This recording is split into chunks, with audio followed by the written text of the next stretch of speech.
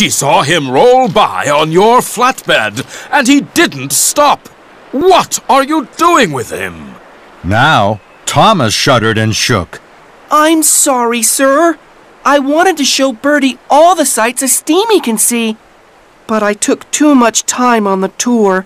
Now I've stopped Bertie being really useful. Thomas steamed sadly. He watched Bertie swing and sway. Then he wished. Sir, I can't get Bertie off the bridge, but Harold can. I'll huff my hardest to the Sodor Search and Rescue Center. Hurry, Thomas. My mother doesn't like to wait.